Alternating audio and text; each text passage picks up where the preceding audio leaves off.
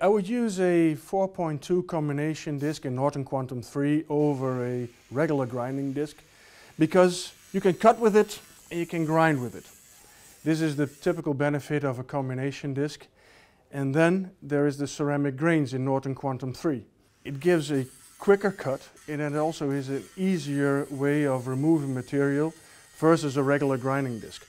Because this wheel is a lot thinner, it's easier to use and easier to steer over the material and it removes as much or even more material in the same amount of time.